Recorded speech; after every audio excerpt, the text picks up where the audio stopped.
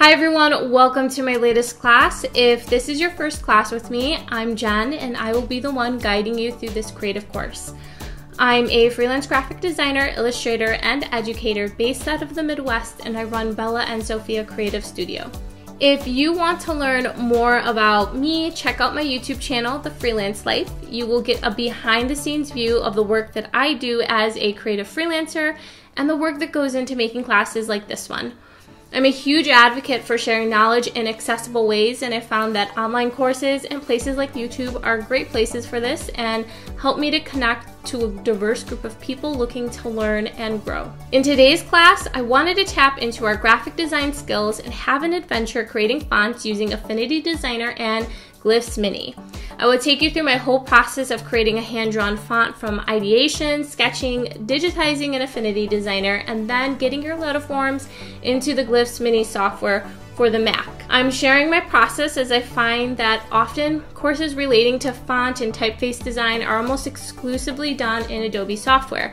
And I wanted to highlight that there are other options out there and that I found that Affinity Designer can be used to do really similar things. If this is your first time taking one of my classes relating to graphic design, I highly suggest you check out my previous design courses. I have a variety that cover topics like design for good, logo design, packaging design, layout design, and so much more. I have also some really helpful marketing related videos too if you're looking to grow your creative business. So what is this class about?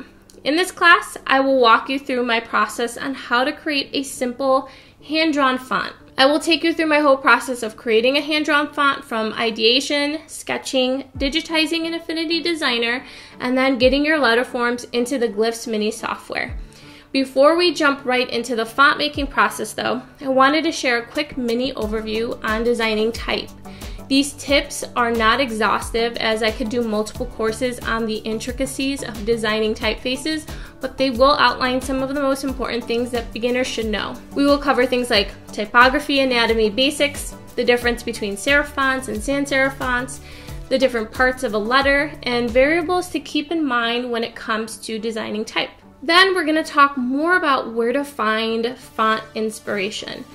We'll look at three of my favorite type design and font related design books, ideation when it comes to building out your letter styles, and then as we begin to create our font, we will apply those typography basics so that we can create a really cohesive and strong font. As we create our fonts, I will highlight some helpful tips to keep in mind for sketching and inking your hand lettering if you choose to start analog. I will also highlight though how you can skip the whole scanning phase and use the Pixel Persona in Affinity Designer to sketch out your concepts if you have access to something like a drawing tablet. Then we will digitize our letters in Affinity Designer. And if this is your first time using Affinity, no worries, don't stress. I will go at a comfortable pace and highlight important tools so that you can keep up.